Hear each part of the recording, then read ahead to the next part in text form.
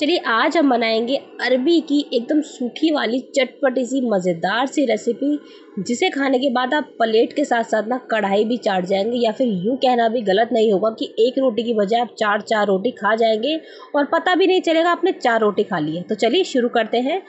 Hello everyone welcome back to my channel Jack अपने घर के में मैं ज्योति, आपका बहुत बहुत स्वागत करती हूँ। सबसे पहले मैंने यहाँ पर लिया पाँच सौ ग्राम अरबी। जिसको बढ़िया से मैंने यहाँ पर ना छील करके तीन से चार बार बढ़िया से धो लिया है, जिससे कि हमारी जो डस्ट वगैरह, मिट्टी वगैरह अरबी में बहुत ही ज़्यादा होती है तो अरबी को आप बढ़िया से धो लीजिएगा। अगर आपकी अरबी जो है बड़ी बड़ी हो तो एक में से दो कर लीजिएगा। अगर छोटी वाली अरबी हो तो साबुत भी आप रख सकते हैं। चलिए चलते हैं इन अरबियों को कुकर की तरफ़, यानी कि इनको हमको हल्का सा उबालना है। ओवर कुक बिल्कुल भी नहीं करना है। अरबी जो मैंने यहाँ पर 500 ग्राम ली है, उसके लिए मैंने यहाँ पर डेढ़ कप पानी का यूज़ किया है। डेढ़ कप पानी में हमारा यहाँ पर अरबी जो है बढ़िया से बॉईल हो जाएगी। दो विसल आने पर इसको बढ़िया से बंद करना है और एक विसल में भी आप चेक कर सकते हैं। एक मसाला तैयार करेंगे हम लोग यहाँ पर। पैन में मैंने एक छोटा चम्मच साबुत दला धनिया लिया है और आधा छोटा चम्मच सौंफ ली है और आधा छोटा चम्मच ही मैंने यहाँ पर राई ली है। आपके पास राई ना हो तो आप सरसों का भी यूज़ कर सकते हैं। थोड़ी सी कलौजी का यूज़ किया है मैंने।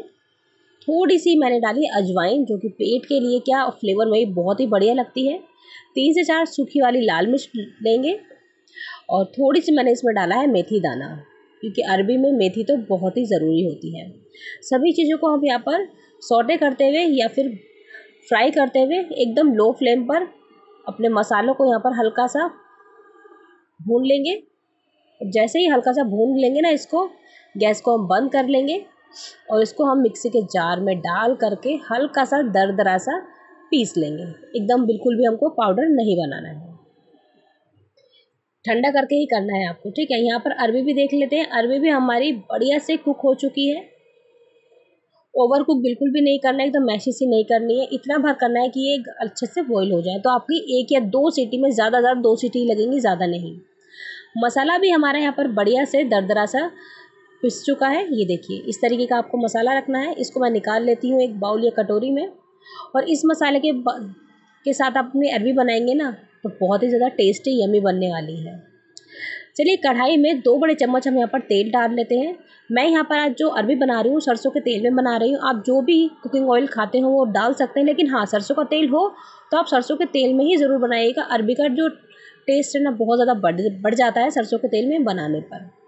अरबी को हम पहले हल्का सा फ्राई करेंगे इतना भर कि हल्की सी ये जो है थोड़ी सी ब्राउन ब्राउन सी हमारी अरबी हो जाए। इनको मैं एक प्लेट में निकाल लेती हूँ और फिर से मैं कढ़ाई में डालूँगी एक से डेढ़ चम्मच तेल। तेल को बढ़िया से गर्म, धुआँ आने तक गर्म करेंगे और फिर गैस की फ्लेम को कम करते हुए आधा छोटा चम्मच ज़ीरा और थोड़ी सी हींग डाल करके बढ़िया से तड़कने देंगे। और फिर डालेंगे हम दो से तीन बारीक कटी हुई हरी मिर्चें। हल्का सा मिक्स करेंगे और उसके बाद मैं डालूँगी यहाँ पर प्याज। एक बारीक बारीक काटते हुए मैंने यहाँ पर प्याज लिया है। हल्का सा सोटे करेंगे। हल्का सा जैसे ही प्याज जो हमारा ब्राउन कलर का आना शुरू हो जाएगा ना, बस उतना ही कलर हमको यहाँ पर अपनी प्याज का चेंज करना है। आप यहाँ पर अपनी फ्लेम को मीडियम टू हाई रख सकते हैं। अच्छा सा प्याज हमारा यहाँ पर ब्राउन हो चुका है, हल्का सा ही चेंज करना है, ज़्यादा नहीं। इसमें मैं डालूँगी थोड़ी सी हल्दी कलर उठाने के लिए थोड़ी सी डालूँगी कश्मीरी लाल मिर्च पाउडर और थोड़ी सी नॉर्मल वाली लाल मिर्च पाउडर हल्का सा मिक्स करना है, कोई मसाले को हमको यहाँ पर भूनना नहीं है। फ्लेम को आप फिर से एकदम लो कर लीजिएगा और अपनी अरबी को डाल करके बढ़िया से हल्के हाथों से मिक्स करना है। ये देखिए। बस इतना ही भर हमको यहाँ पर मिक्स करना है और जो हमने मसाला प्रिपेयर करके रखा था, बढ़िया से उठाइए और चारों तरफ़ इसमें डाल दीजिए। एक आध चम्मच बचाना चाहते हैं तो बचा सकते हैं मसाले को। हल्का सा डालेंगे इसमें नमक, या फिर यूँ कहें, स्वाद के अनुसार नमक डालते हुए हल्के हाथों से इसको फिर से हम मिक्स करेंगे। अब यहाँ पर अपनी फ्लेम को आप मीडियम रख सकते हैं। अब ये देखिए, मसाले के साथ अरबी कैसे लिट पिट गई है। अभी मसाले हल्के से और थोड़े से भुन जाएँ और थोड़े से लिट पिट जाएँ, उसके लिए हम क्या करेंगे ना, थोड़ा सा इसमें हम लगाएँगे अपना पानी। ज़्यादा नहीं, सिर्फ़ और सिर्फ़ आधा कप इसमें हम पानी डालेंगे, ताकि जो भी मसाले वगैरह हैं वो फूल जाएँ और बढ़िया से हमारी अरबी पे लिट पिट जाएँ और थोड़े से पक भी जाए हमारे मसाले।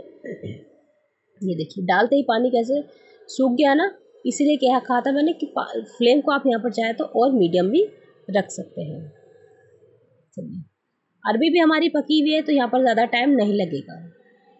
सभी चीज़ों को मिक्स करते हुए लास्ट में एक मुट्ठी हम यहाँ पर हरा धनिया डाल देते हैं और मसाले के साथ अच्छे से अपनी अरबी को यहाँ पर मिक्स कर लेंगे या फिर भून लेंगे मसालों को भी बढ़िया से। ये देखिए, क्या गज़ब की खुशबू आ रही मैं बता नहीं सकती। और सभी चीज़ों को समेटते हुए एक एक दो सेकंड के लिए इसको ढक करके हम पका लेंगे एकदम धीमी आँच पर, ताकि जो फ्लेवर मसाले वगैरह जो भी हैं, अरबी के अंदर तक चले जाए। ये स्टेप ज़रूर कीजिएगा। एक दो सेकंड के लिए आपको ढक करके ज़रूर रखनी है अपनी अरबी। और ये देखिए लास्ट में क्या रंगत आई है हमारी अरबी की। जो खुशबू आई है ना ढक्कन उठाते मैं आपको बता नहीं सकती। चलिए सर्व कर लेते हैं और इसको आप रोटी, चपाती, पराठे, जिस जिस भी चीज़ के साथ सर्व करना चाहते हैं, करिए, लेकिन एक बार इसे ट्राई ज़रूर कीजिएगा। आई होप आपको पसंद आएगी। पसंद आए तो प्लीज़ लाइक शेयर सब्सक्राइब करना बिल्कुल ना भूलें।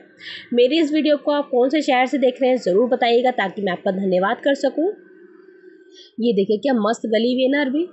चलिए, मिलूँगी अगली बार एक नई रेसिपी के साथ। जब तक के लिए अपना ध्यान रखिए, खुश रहिए take care and bye guys thank you for watching